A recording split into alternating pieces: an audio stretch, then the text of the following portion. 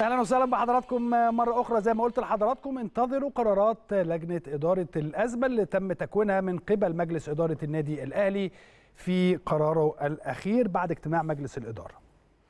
أول قرار الأهلي يسلم شكواه إلى المحكمة الدولية ويسدد الرسوم المالية.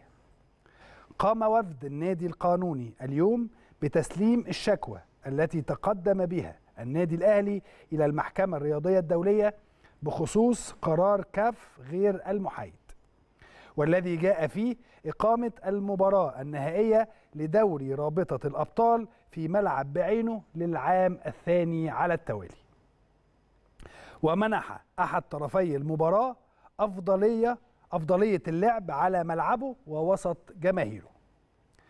كما قام الوفد القانوني بسداد الرسوم المالية الخاصة بالشكوى كاملة والتأكيد على طلبات النادي إما بالبت في الموضوع وإرساء العدالة وإقامة المباراة المشار إليها في ملعب محايد أو تأجيل المباراة لحين البت في الشكوى وأن النادي الأهلي قدم كل المستندات التي تؤكد عدالة موقفه.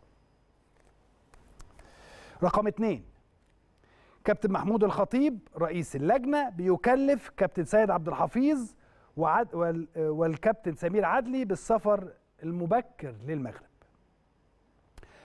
قرر الكابتن محمود الخطيب رئيس النادي الأهلي تكليف كل من كابتن سيد عبد الحفيظ مدير الكرة والكابتن سمير عدلي المدير الإداري بالسفر إلى المغرب خلال الأيام القليلة القادمة للقيام بكافة الترتيبات الخاصة ببعثة النادي الأهلي قبل موعد المباراة النهائية لدوري الأبطال والتي أعلن كاف عن موعدها ومكانها عبر حساباته الرسمية اليوم.